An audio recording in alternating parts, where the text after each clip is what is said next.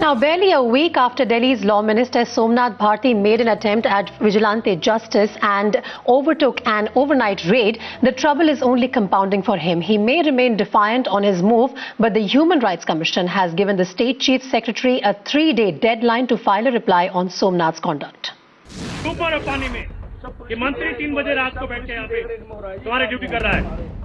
The night when the Delhi Law Minister Somnath Bharti decided to turn vigilante वहाँ पे red करिए red करिए वहाँ पे forcing the police to take action against people who he claims were involved in sex trade.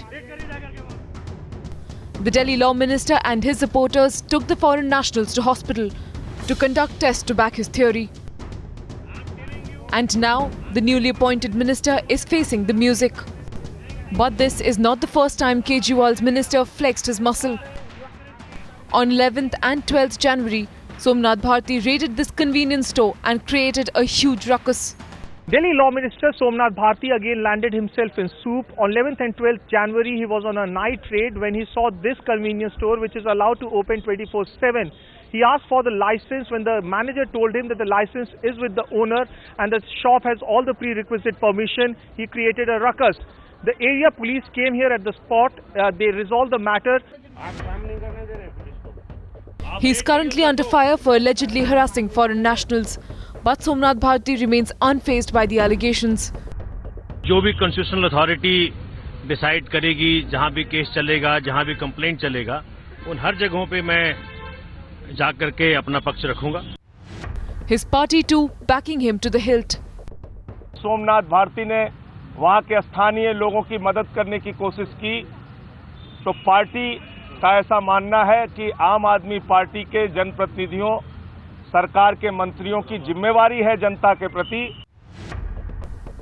But the BJP has lash out it Somnath Bharti branding his approach seemingly racist this is government anarchy at its peak what I would say because this law minister